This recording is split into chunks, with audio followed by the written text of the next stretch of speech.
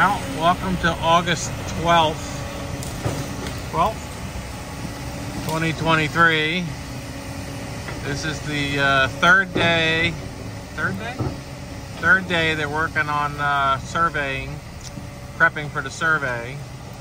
And he's working along the main road here between coconut trees. As you can see, we've got a good rain going on. We're going to get wet. They've done a nice job. And we'll pick up another video a little later.